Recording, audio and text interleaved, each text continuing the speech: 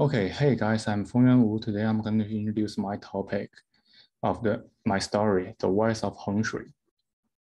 And first, let's get some background information. So first, what is Gaokao? Gaokao, the National College Entrance Exam in China, is a standardized college entrance exam held annually in the mainland China, and is required for the entrance into almost all higher education institutes at the undergraduate level. Actually, it might be the only exam that required for enter all the good higher education institute in China. And it's usually taken by students in their last year of senior high school, but Gaokao actually have, with, have no age requirement. And this is, and also another thing must be, also another thing in China is about credentialism in China.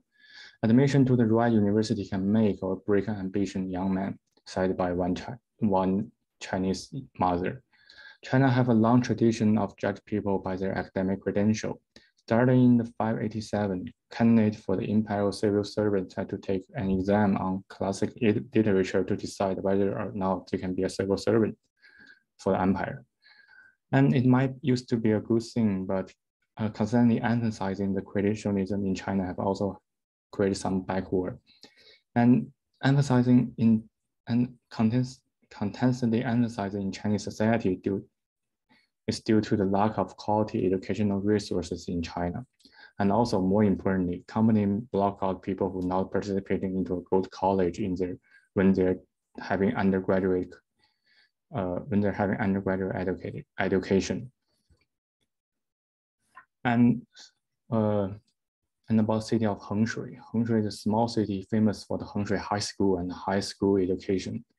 It actually an underdeveloped, it, it, actually have an underdeveloped econ economy with extremely developed educational in industry. And Hengshui High School is the most famous uh, school in the Hengshui. And it also be the most famous school, uh, one of the most famous school in China. It is a semi-military school, which means that the student will be management uh, like, like they're in the military. And uh, and students must obey a strict set of rule and regulation. Students are all required to study more than 15 hours per day and almost seven days per week, and it's proved to work. It have the highest number of students getting admission to the highest ranked university in mainland China.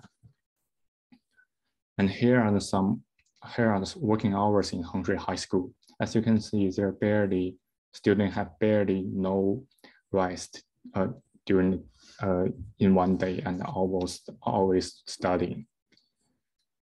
And so here's what inspired me. The first one must be the parasite. I got my idea of writing about Hengshui High after I after the night I watched the parasite. The cruel reality high under the dark community really hit my heart. I was also thinking about writing a realism novel about the people who are oppressed by the neoliberalism and capitalism in China. Actually, I will express the same I will share the same feeling in my future career role inevitably if I choose to go back and work in China. As a student who majored in CS, I would become a software developer in the future. However, the working condition of software developer in China is almost sort of in the hell. Most of the programmers work in the 996 working hour system, which means that the worker will work from 9 a.m. to 9 p.m. six days per week. And Jack Ma, the most famous Chinese businessman, businessman used to express publicly that 996 is a blessing for working class. So this is why I feel resonate with Parasite. However, I feel I'm lack of social experience since I'm not, I'm just a college student. I definitely can write something that I have never experienced about before. Fortunately, I took the high school in China. And and although my high school didn't have such militarized management like Hengshui High School, I still share the same experience of facing the pressure of Gaokao in my first two years of high school life. I think experience this experience can let me write more realistic story. More importantly, I also have a friend who studied in Hengshui High School. I think this will be my opportunity and my advantage in choosing this topic compared with others. I just interviewed with him and hopefully I can write a more realistic story with him, his experience. Okay,